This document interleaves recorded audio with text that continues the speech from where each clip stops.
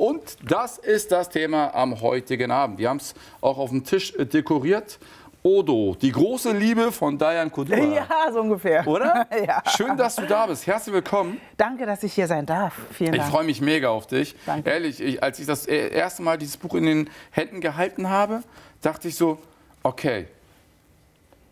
Darf ich dir meine ersten Gedanken sagen? Ja, unbedingt, ja. Das erste war, beim Durchblättern dachte ich so, Tradition, Mhm. Kultur, etwas Fremdes, Fernes. Mhm.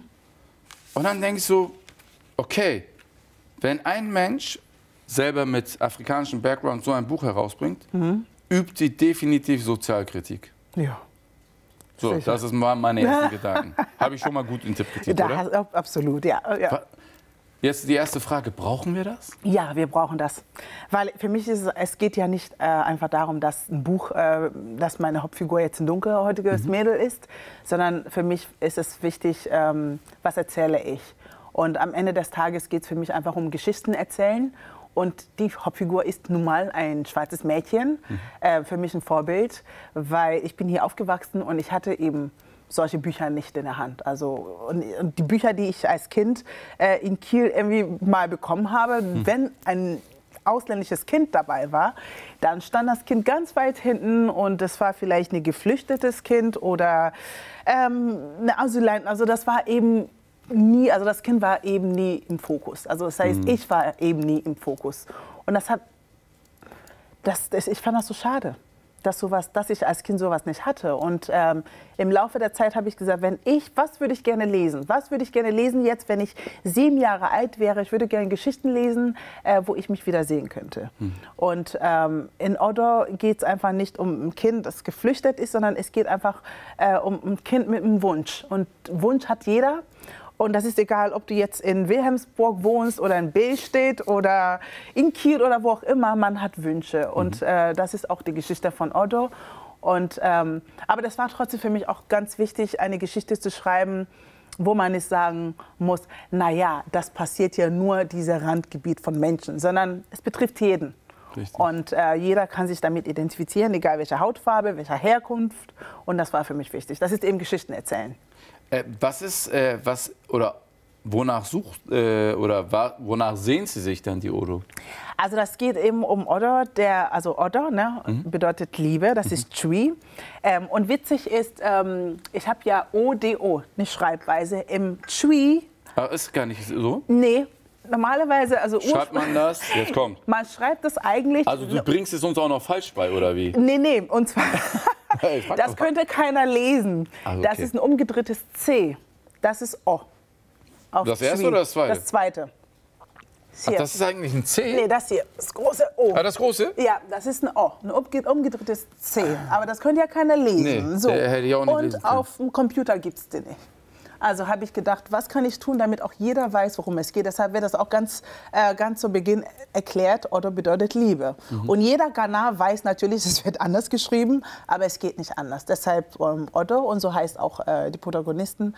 Und sie hatten einen Wunsch, äh, eine schwarze Puppe auch mal Mhm. zu besitzen, weil sie selbst hat äh, keine schwarze Puppe.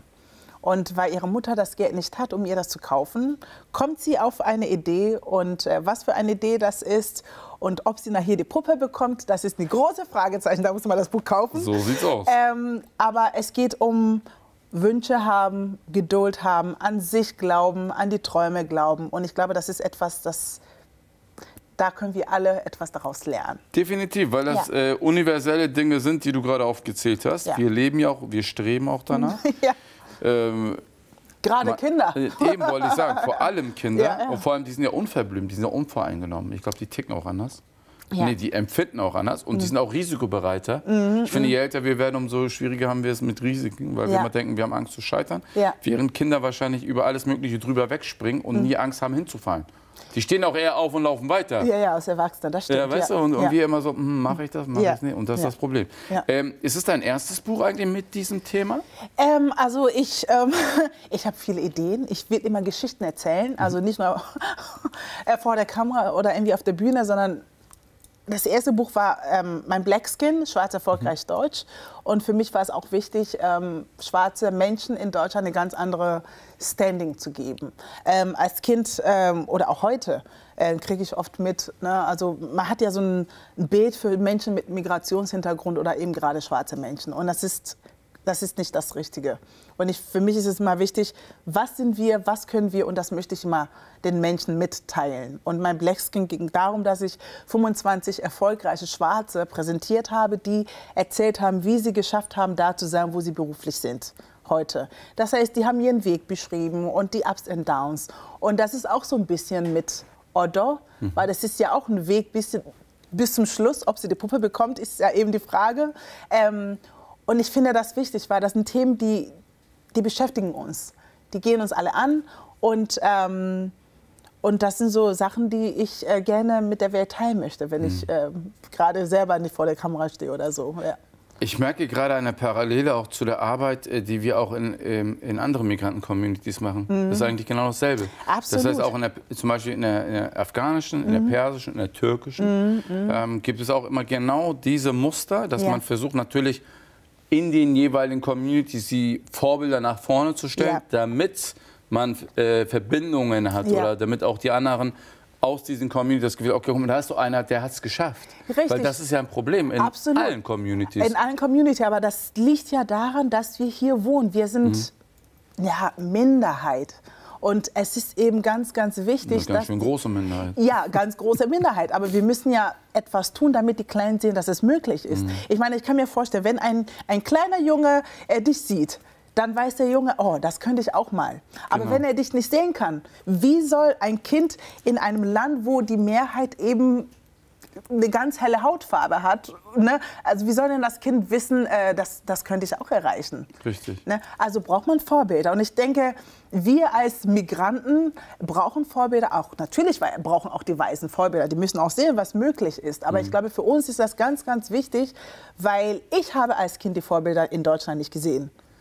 Also, ich auch nicht. Ne, du auch nicht. Mhm. Also ist es natürlich dann so ein, so ein Drive, was kann ich tun, damit die anderen, damit die Jüngeren sehen, was möglich ist.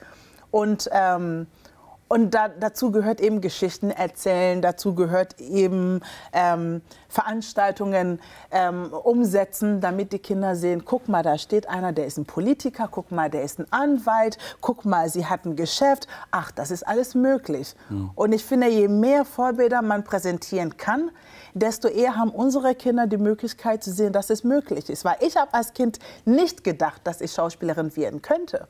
Richtig. Weil alle gesagt haben, das geht, geht nicht. nicht. Mit hm. deiner Hautfarbe kannst du in Deutschland das nicht machen. Ne, sogar meine Eltern, die haben es mir zwar gewünscht und haben mich äh, gepusht in dem, was ich machen wollte, aber trotzdem war eben dieser Gedanke, hm, ich weiß nicht, also mit deiner Hautfarbe, hu, das könnte schwierig. Sogar heute bekomme ich das immer noch gehört. Und deshalb glaube ich, je mehr Vorbilder man sieht, desto eher entwickelt man auch eine eine Idee von Dingen, die man erreichen kann. Das Kinderbuch von Diane Kudua, Odo. So spreche ich es dann richtig aus, oder? Nee. Oh. Odo. Odo. Hört sich auch viel besser an, ehrlich gesagt. Odo. Äh, Erfahrung als Mentor, Vorbilder, Initiator. Meine lustigste Begegnung. Ja. Das, was du ja tagtäglich auch machst, habe ich ja wirklich auch eine Zeit lang sehr, sehr äh, oder damit habe ich mich sehr beschäftigt und mich auch auseinandergesetzt, habe auch an Workshops teilgenommen, beziehungsweise Workshops gegeben. Mhm. Und das Lustige war, mit, der, mit den jungen Menschen aus der türkischen Community, ja. wenn die deine Geschichte nicht kennen, mhm. denken die, du bist mit einem goldenen Löffel geboren. Ne? ja. Dann sitzt du da und da war so ein junger Typ, der war 13 vielleicht, ja. und sagt, Abi, erzähl mir keinen Scheiß. Ich zitiere ihn nur, also jetzt mehr. Aber erzähl mir keinen Scheiß. Du hast bestimmt voll das einfache Leben gehabt und mit einem goldenen Löffel geboren. Wenn ich dem als erstmal erzähle, dass ich in der Schule dreimal wiederholt habe, Glaubst guckt er mich an. Was? Ich sag ja. Ich wow. bin aus der Veddel groß geworden, echt. Ja. Und trotzdem kann man es schaffen. Mhm. Dann haben die sogar einen anderen Blickwinkel. Aber am Ende sehen die aber auch nur dieses Ergebnis Absolut. vor der Kamera. So Absolut, wie keiner ja. weiß, wie viel du ja. dafür äh, hast leiden müssen. Absolut, das sieht ja, aber das will auch keiner sehen. Das ist der Punkt. Das will ja auch keiner sehen. Und ich muss ganz ehrlich gestehen, ähm, es ist auch okay. Es ist auch am Ende des Tages okay. Ich glaube, der Weg ist einfach man sagt ja, der Weg ist das Ziel. Mhm. Ne? Und man fängt an und die Nächte, die man nicht schläft und die Arbeit und ähm, die, die, Sorgen, die man hat, da, davon wollen ja die Leute ja gar nicht wissen. Und die dass du zum Beispiel dreimal überholt, äh, die Klasse wiederholt hast, ähm, kein Mensch weiß, was du da gespürt hast, was du gefühlt hast, ja. was für einen Stress du hattest. Oh ja. Aber die sehen nur da, wo du bist. Man sieht ja immer ganz, ganz weit oben am Eisberg. Oh Richtig. ja, das glänzt und das ist schön und das will ich auch.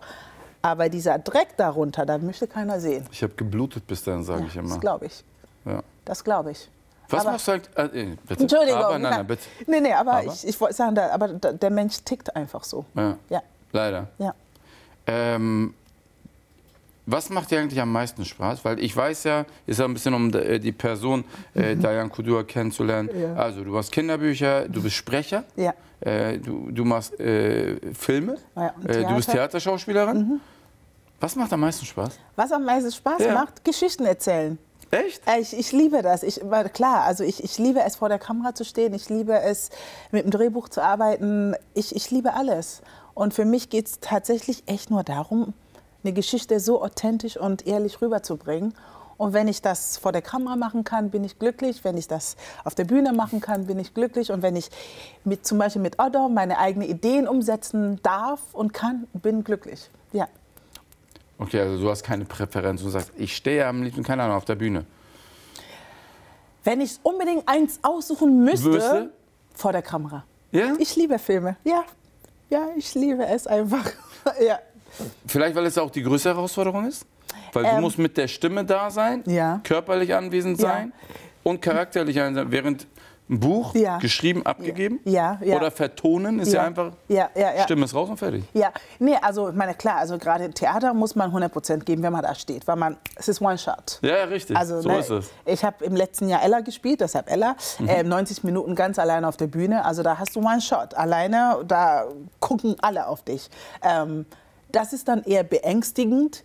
Film aber da schön. kann man dann noch mal. Das ist schön ich habe Zeit lang Theater selber gespielt. Ja, ich fand es immer. Es ist nicht. toll. Ne? Man hat auf direkten Resonanzpublikum ja. reagieren, ob das gut oder ist oder nicht. nicht oder das auch ist nicht. Doof. Uh, ja, ja. Also, Hilfe. Ähm, aber auch das ist schön. Ja, Und, äh, aber man bereitet sich da ganz, ganz anders vor, mhm. so zumindest ich. Und äh, wenn ich dann irgendwie am Set bin, liebe ich auch. Ich liebe es, andere Kollegen zu treffen, dann jedes Mal, wenn man dann je nachdem, was man macht.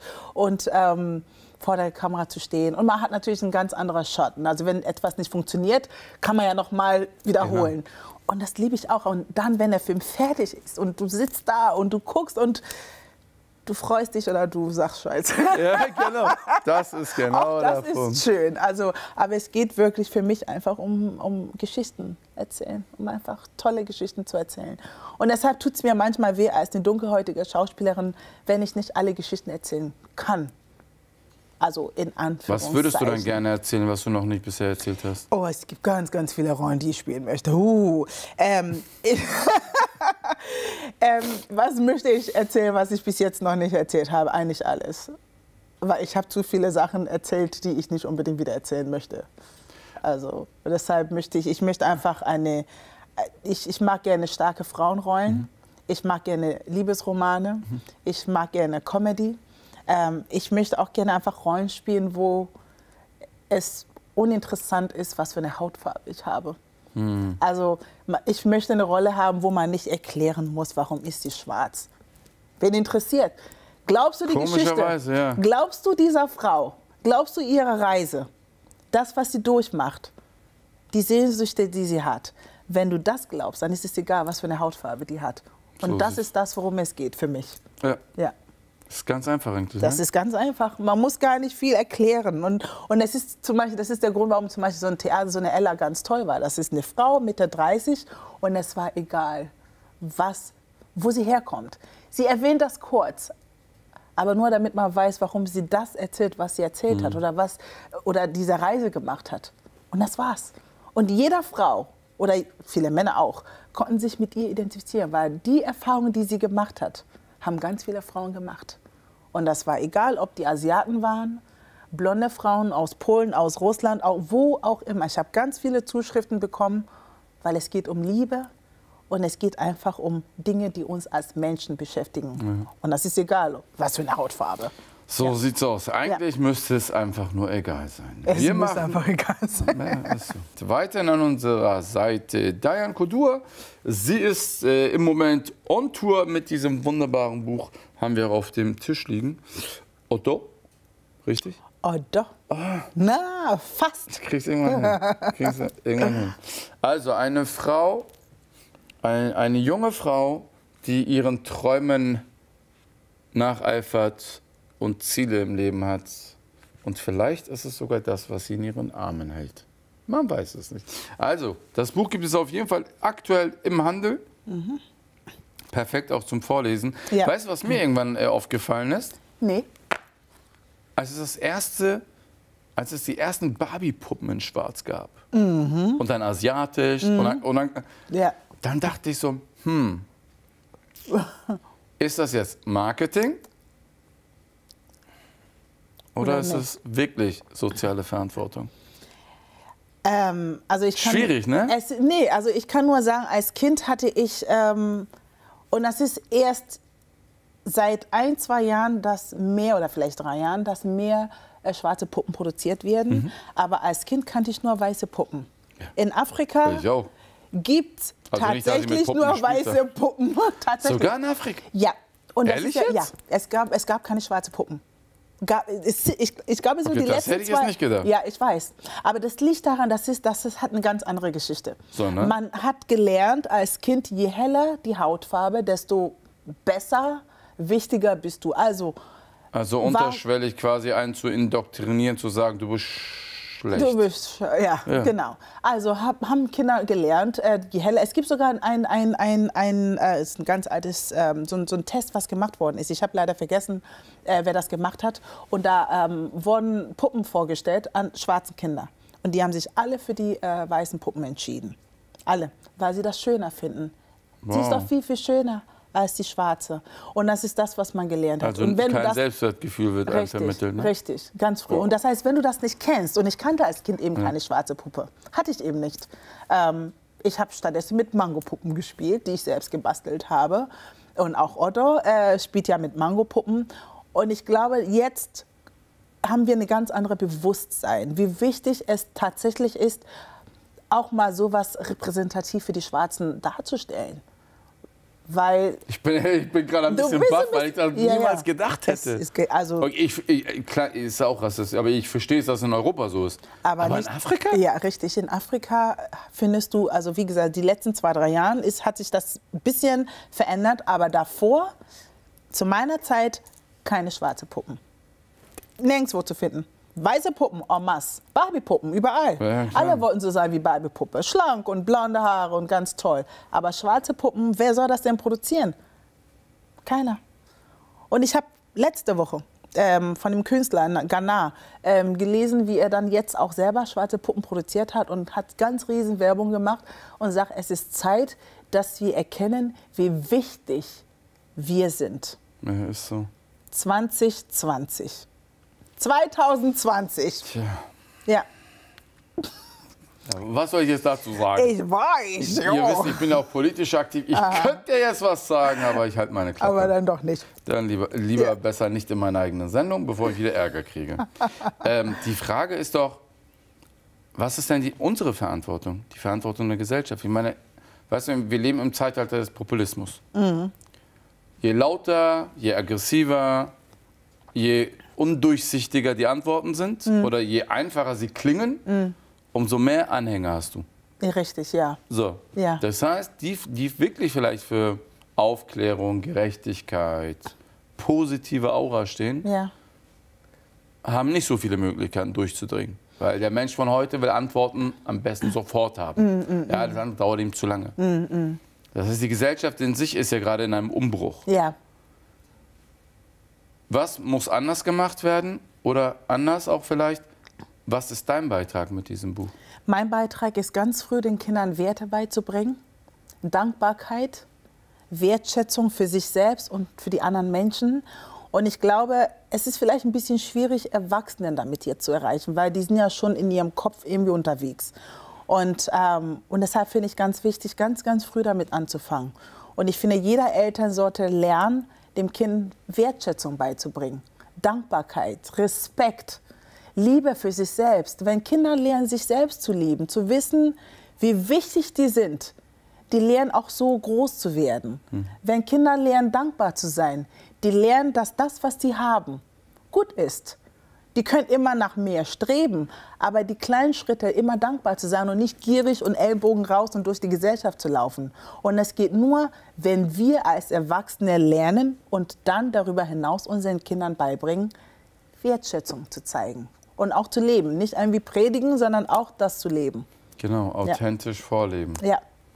Und jetzt lautet wieder die Schlussfolgerung von Papa Bedo, das Leben kann so einfach sein. Absolut. Ich sage das so oft auch in meinen Veranstaltungen. Das Leben kann so einfach sein. Ja. Wir, machen das, wir sind, wir sind ja. selber bescheuert. Ja, absolut. Und verbauen alles, ja. äh, machen es komplizierter.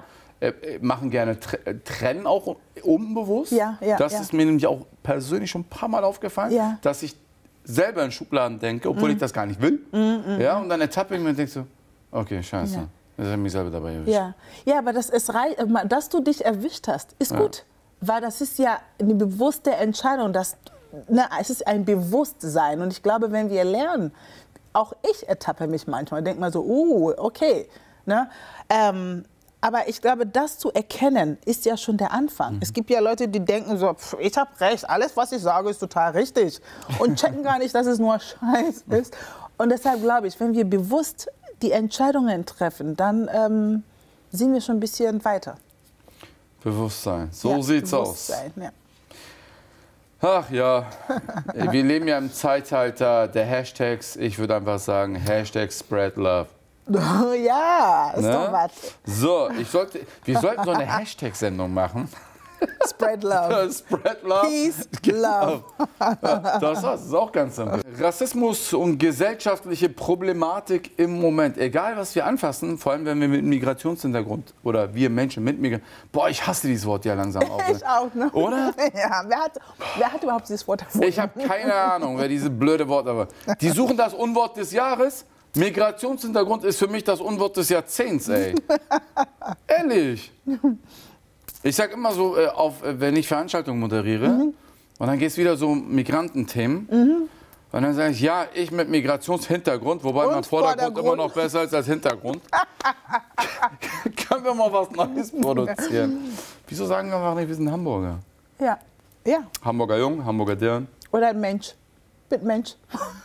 Ja, das, das wäre zu einfach. Das wäre zu einfach, ne? Das okay. Ich bin Mensch, ja. Ich bin Mensch. Aber ich bin gerne Hamburger. Ich auch. Und ich bin ja auch gerne zu Hause.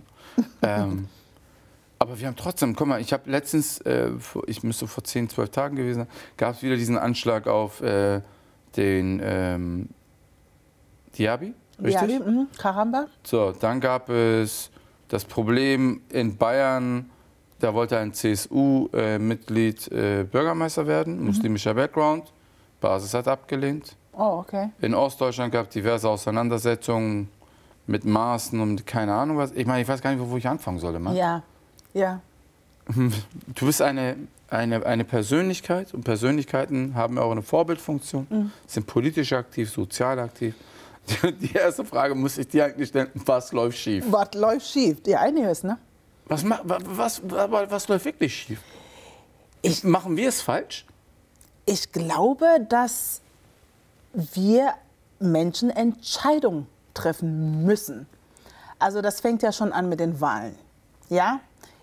Alle Afrikaner, wenn du wählen kannst, geh bitte deine Stimme abgeben. Gibt es eine Statistik eigentlich dazu? Vielleicht gibt es.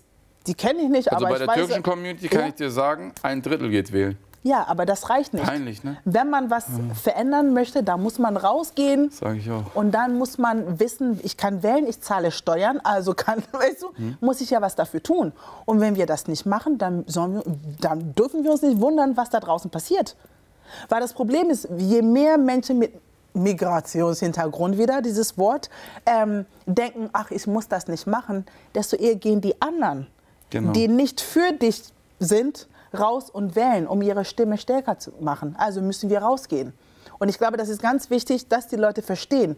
Du zahlst Steuern, du darfst wählen, geh bitte und gib deine Stimme ab. Und je mehr Menschen rausgehen und wählen, desto eher haben wir die Chancen, dann eben was zu verändern. So sieht's aus. Man kann nicht erwarten, dass Dinge sich ändern, wenn wir da so bequem im Wohnzimmer sitzen und denken, oh, die Welt ist toll. Vielleicht ist die Welt schön, aber die Realität sieht eben anders aus. Und da muss man rausgehen und was verändern. Denke ich. Ja, ich bin äh, ganz bei dir. Ähm, wir haben ja auch in ein paar Wochen äh, in Hamburg die Bürgerschaftswahl. Deshalb auch mein Aufruf, mein Appell an alle da draußen, geht wählen, geht wählen, geht wählen. Ja. Ich meine, ist zwar relativ bescheiden zu sagen, aber okay, zum Glück, zum Glück, wenn ich sage zum Glück, ist ja Hamburg ein bisschen anders. Ja, noch eine Großstadt, wo eine gewisse Partei gerade wirklich nicht weit mehr als 6, 7 Prozent hat. Ich würde mir immer noch wünschen. Guck mal, 6, 7 Prozent ist immer noch zu viel. Ja. Das heißt im Umkehrschluss, wenn 3 bis 4 Prozent, sagen wir 5 Prozent, meiner Community, Dians Community wählen würde, wären die noch nicht mal drin. Richtig. Und das So müssen die kann man's Leute auch verstehen. berechnen, genau. Ja, und ich glaube, das ist das, was viele Menschen nicht verstehen. Das ist es. Ja, sie denken, ach, meine Stimme braucht doch kein Mensch. Ich bin doch nur eine Person. Oh, vielleicht nur, wir sind ja nur zu zweit. Aber doch, das macht einiges aus. Und wenn alle das verstanden haben, dann werden sie vielleicht rausgehen und etwas verändern. So sieht's aus. Ja. Verändern. Ja. Veränderung fängt immer zu Hause an, Ja. dann im Kopf und dann kannst du die Welt verändern. Ich kenne ja so viele Menschen, die die Welt verändern wollen, aber selber noch nach alten Systemen leben, wo ich denke, okay, Veränderung fängt aber immer bei sich selbst an. Mhm. Die Motivation, die Selbstliebe, die Kraft, Dinge bewegen zu wollen. Ja. Ja, die brauchst du so oder so als Mensch. Wie war denn deine Kindheit eigentlich? Du bist ja auch, du bist ja auch relativ spät nach Deutschland gekommen, oder? Ja, mit zehn. Fast elf, ja. Das heißt, dann kannst du eigentlich deine Kindheit mit deiner Jugend, wenn du sie vergleichst, Mhm. Ja. wo war es schöner? Wo war es schöner? Ich glaube. Also in ja. Ghana in diesem Falle? Du bist ja in Ghana geboren? In Ghana war es ähm, schöner, aber das weiß ich erst, seitdem ich erwachsen bin, geworden bin, äh, weil ich. Das ist mir gar nicht klar geworden, als ich nach Deutschland gekommen bin. Ich wusste nur, dass ich mich wie, äh, irgendwie gefühlt habe, als wäre ich in einem Käfig. In Weil- Ghana jetzt? Hier in Deutschland. Ah, in Deutschland, okay. Genau. Weil man muss sich das so vorstellen, als Kind in Ghana, also zumindest mein, ne, meine Kindheit in Ghana, ähm, ich war viel draußen. Man, also man war den ganzen Tag draußen. Es gab alles. Man hatte nicht viel, aber man hat gespielt und war immer in der Natur. Und, äh, und das, das war von heute auf morgen nicht mehr da. Und auf einmal war ich in Kiel. Es war kalt. Mann, ihr habt Und euch ja war- auch einen Ort ausgesucht. Ja, ich weiß. Danke, Papa. Äh, Obwohl, ähm, er kon- Wobei, Kiel ist schön. er, wollte ich gerade sagen, er, Kiel, Kiel ist schön. es, er hatte nur z- äh, hat zwei Optionen: Kiel oder München. Also, was würdest du sagen? Da bin ich froh, dass ich Ah, in Kiel bin ich Nordjunge. Ich glaube, ich- ich hätte mich auch für Kiel Ja, entschieden. Genau, deshalb bin ich auch froh. Nordisch Aber äh, da habe ich einfach gemerkt, dass, dass es doch schön war. Mhm. Ja. Und ich meine, wenn du mit 12, 13 das Wort Neger hörst, dann fragst du dich, was ist das? Und das, ist, das sind so Dinge, die, die man als Kind gar nicht so, es ist einem gar nicht bewusst. Aber so später denkst du, nee, in Ghana wurde ich so nicht gerufen. Ich war wie eine von euch. Wir hatten nicht viel, aber es war schön. Wir, hatten, wir haben viel gelacht und das wenige, was wir hatten, das war trotzdem schön. Also war das für mich eine Arbeit, äh, mich umzustellen, zu kapieren, jetzt bist du hier. Das ist jetzt deine neue Heimat und damit musst du klarkommen. Und das hat ein bisschen gedauert, bis ich dann, ich glaube mit 15, 16 habe ich ein bisschen rebelliert, aber dann habe ich kapiert, okay, it is what it is, ähm, nimm das an und, ähm, ja, und lerne damit zu leben. Ja. Wann hast du das erste Mal gemerkt, dass du anders bist in Deutschland? Ähm, ich glaube, das war mit elf. Aber nicht ich habe gemerkt, sondern man hat mich darauf aufmerksam gemacht, dass ich nicht so bin wie die anderen. Mit Beleidigung und äh, Ja, genau. Diskriminierung. Mit Beleidigung. Aber auch von Elfjährigen, ne? Ja, von Ki Kinder können ganz grau grausam sein. Uh, Kinder, puh. ja, Kinder Krass. waren das, ja, ja, absolut. Ne? Und dann merkst du auch, wieso, warum, weshalb. Und ich, hab, ich war auch sehr, sehr dünn und ziemlich lang und hatte Zöpfe und alle wollten so, darf ich mal? Und bevor du Ja oder Nein sagst, waren die Hände schon in den Haaren und dann ging es da mit den Eltern äh, und dann, also nicht meine Eltern, sondern fremde Eltern und irgendwelchen Omas und Opas und irgendwann denkst du, ich komme mir vor wie eine Affe. Ne? Naja. Alle Bin ich denken, im Zoo oder ja, was? ich bin irgendwie im Zoo gelandet. Und das hat dann auch gedauert für mich, damit klarzukommen, so ticken manche Menschen. Also musste ich lernen, mich zu behaupten und zu sagen, ah, ah, don't touch my hair. Klar, weißt du?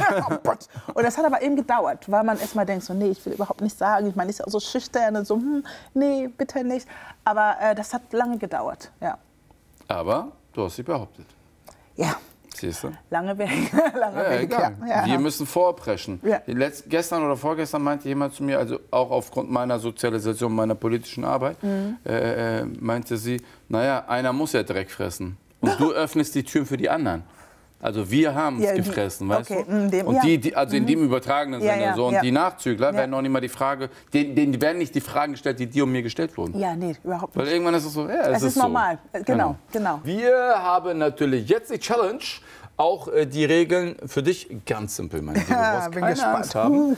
Äh, liebe Diane, Ja. zehn Persönlichkeiten, zehn Celebrities und man sieht meistens immer diesen Part oder diesen Part, keine Ahnung, irgendwie so Nase, Augen, Okay. ne, meistens so. Ja. Und dann müssen wir raten, wer, äh, welcher Celebrity dahinter stecken könnte. Können Schauspieler sein, Musiker sein, whatever. Okay, und wo, wo, wo Äh, wahrscheinlich da drüben auf dem Bildschirm. Oder du, kann, du kannst dich auch gerne gemeinsam mit mir gerne umdrehen, das ist auch machbar. Okay. Wir können auch so wir gucken, können auch so gucken. wie du magst. Dahin gucken, dahin gucken. Okay, Entscheidest dich. Okay. Das ist näher, ich gucke auch gerne ein bisschen nach hinten. Ja. Ist auch entspannter. so, wir starten. S- Miley, Miley Cyrus. Oh. Alles klar, die Queen, die Queen is back. Äh, Morgan Freeman. Oh ja. Oh, ja. Sorry, dass Ja, ich ihn zuerst das- entdeckt habe. Bruce, äh, äh, oh Gott. Äh, Moritz bleibt treu. Oh. Oh Gott. Ähm, ähm, äh, äh, äh, wa- ich, hab, ich hab's dann. Äh, Schauspielerin, pass auf, ich zähle mal alles auf. Schauspielerin, Alkoholkoma, äh, äh, äh, Dings, Drogenprobleme, äh, weil ich hab sie gleich. Nicht Jenny Elvis. Na. Was? Das also, ist- äh, Sumaya sagt nein. 100, Nee, ist das, das- nicht eine amerikanische Schauspielerin? Eine Amerikanerin. Sie gehört- Ah, nee, ist das Barbara? Nee. Barbara, dieses Model äh, hier, Germany's Next Topmodel, Barbara? Nee, auch nicht, ne? Äh, äh, äh, Ähm, oh, Ach, hier, ja, Ella, ähm, bla bla bla. Ella endlich, oder? W- ist Wer doch eine? Sängerin, oder? Oder? Ist doch eine Sängerin. Ja, oder? nee, ist eine Tänzerin. Eine, also eine Ro Tänzerin. wie heißt die? Wie, wie heißt die? Roana Niki? Äh, Nikiti- out, ich kenn sie bin nicht. raus, kenn sie Sorry. nicht. Äh, Entschuldigung, Madame, ich, Es ich, tut ich mir kenne leid, sie nicht. Tut mir auch es leid. tut mir so leid. Ich, ach so, okay. Ja, äh, das sieht auch aus wie ein DSDS-Tisch, ja, das habe ich mir auch schon gedacht, dass sie in der DSDS-Jury sitzt. Aber ich kenne ihn nicht. Ähm, auch ne, oh Gott, äh, Wer soll Pietro, Pietro Lombardi. Lombardi? Meinst du? Ach, Ja. scheiße. ah, okay. äh, The Rock. The Rock, äh, Ich war schneller. ja. Nee, po was für ein Typ, ja. ja, das ist eine. Wallah, Mörder, ja. Türsteher. Ey, Apache, Apache 2, äh, 247. Oh, Ding, wer- wer- Der ist ein Rapper. Okay, okay. Apache bleibt gleich, gleich. Okay, komm, der hab ich gut geraten. Dieter Äh, Bohlen. dieser Bohnen. Oh, Mann. Na, warte. Okay. Tupac. Tupac, Chapeau. Oh Mann, du bist mir zu schnell. Boah, den Typen habe ich geliebt. Ja, ja, ich Den liebe ich immer noch. Ja, der ist toll. Oh Gott. MMA-Fighter, ihre, ähm, ähm, ähm, oh, wie heißt denn der Blödi? Der hat sich doch voll bei seinem letzten Kampf gegen Nessim gesetzt, weil er gegen sein, weil er gegen einen, äh, gegen einen Kämpfer, ich glaube, gegen einen muslimischen Kämpfer ziemlich assig sich daneben benommen hat. Okay. Und der ihn in der ersten Runde aber vermöbelt hat. Äh, McGregor, bla bla McGregor. McGregor, ne? Ja, da steht auch McGregor. Sag ich doch, McGregor, ja. Okay, die- Ich kenne ihn nicht, aber. Und das war schon. Das war schon 7 zu? zu zwei 7, bestimmt. oh, 7 zu 2. Tut mir Ah, ich brauche einen Trostpflaster.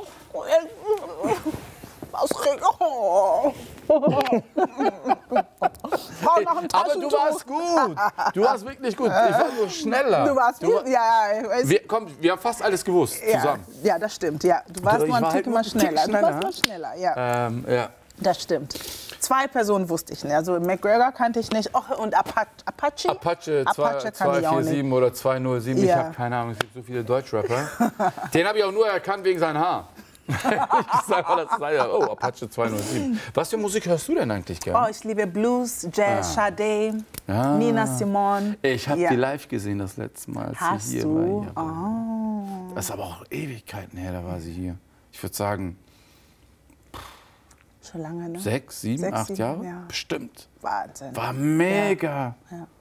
Ich, ich muss gestehen, ich wusste nicht mehr, dass, es, dass sie noch da ist, musikalisch. Und irgendwann hieß es ja, ey, Bedo, äh, wollen wir zum Sade-Konzert? Ich sag, what? Ja. Die ist noch da? Ja, doch. Traum. Die ist jetzt Traum. 61 geworden und die sieht aus wie 30. Die sieht so toll aus. Und macht so schöne Musik.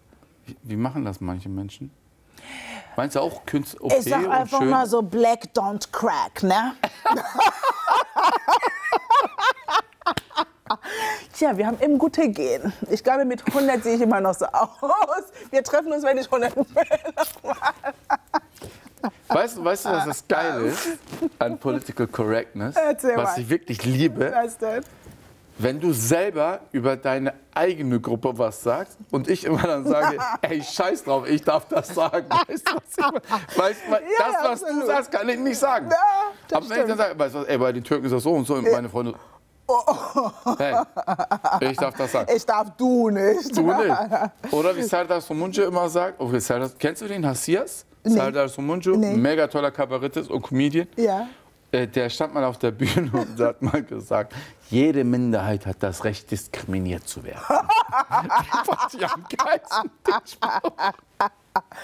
Ja, ja. es gibt schon ein paar witzige Sachen. Also, aber der Spruch ist gut. Der ist gut. Der ist gut, Black don't ist gut.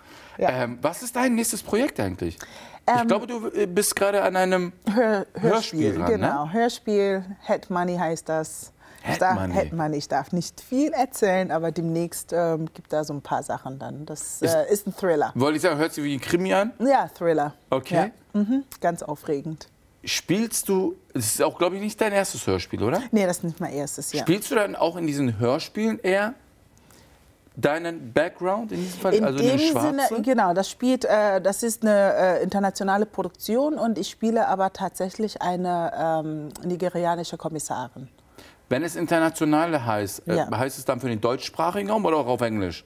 Das wird auch komplett auf Deutsch aufgenommen. Ah, okay. Genau, komplett auf Deutsch, aber spielt trotzdem in Deutschland, äh, äh, Schweiz oder Österreich und dann Nigeria. Mega. Ja. So. Und das ist sehr, wie gesagt, ich darf nicht so viel erzählen, worum es geht und so darf ich nicht erzählen. Aber es ist sehr, sehr aufregend. Ich freue mich total drauf. Kann man sich auf sowas vorbereiten? Ich meine, die Hörspiele bedeuten ja, klar, du musst dich mental darauf vorbereiten, ist ja, Ja, klar. ja, klar.